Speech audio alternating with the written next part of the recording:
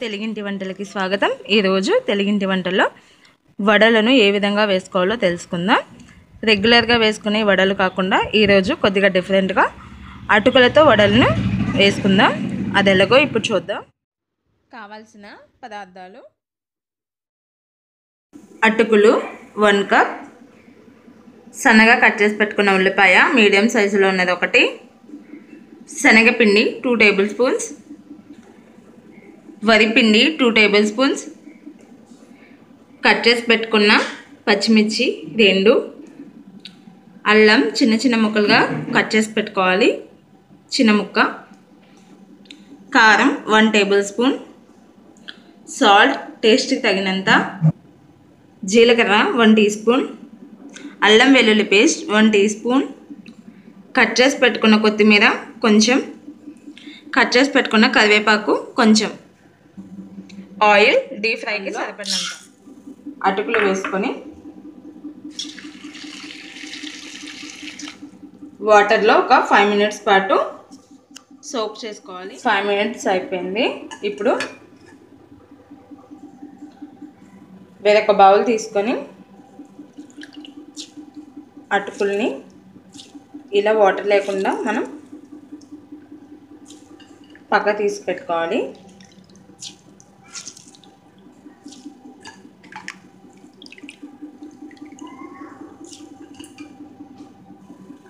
ఇలా మొత్తం వాటర్ లేకుండా తీసుకున్నాం కదా ఇప్పుడు ఇందులో టూ టేబుల్ స్పూన్ శనగపిండి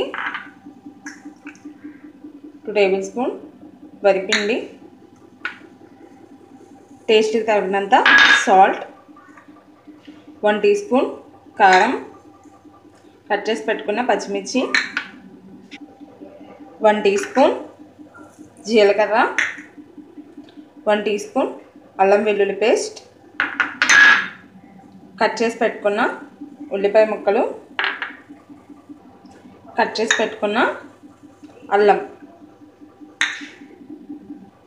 అలాగే కట్ చేసి పెట్టుకున్న కరివేపాకు కొత్తిమీర వేసుకొని మొత్తం మిక్స్ అయ్యేలా బాగా కలుపుకోవాలి.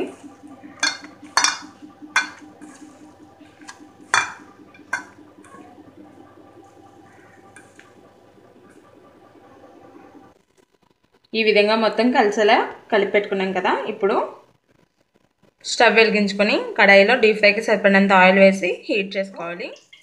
వడలు చేసుకుందాం. ఒక చిన్న పిండి ముద్దను తీసుకొని ఈ విధంగా రౌండ్గా చుట్టుకొని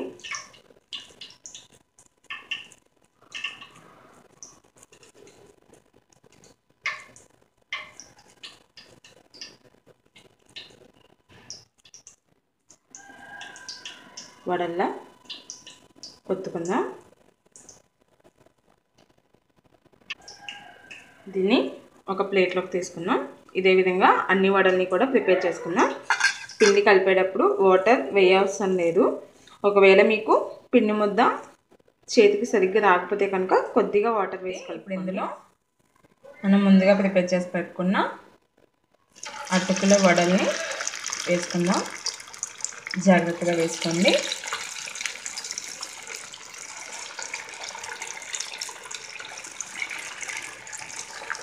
మంటని మీడియం ఫ్లేమ్లో పెట్టుకొని వడల్ని ఫ్రై చేసుకోవాలి.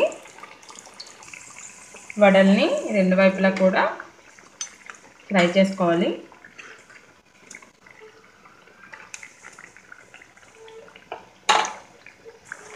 వడలు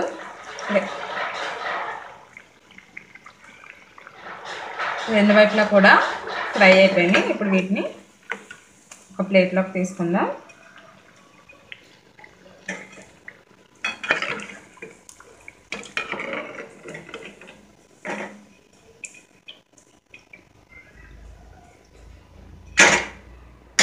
ఇప్పుడు స్టవ్ ఆఫ్ చేసుకోవాలి. చూసారు కదా? ఎంతో రుచిగా ఉండే అటుకుల వడలు రెడీ అయిపోయినాయి.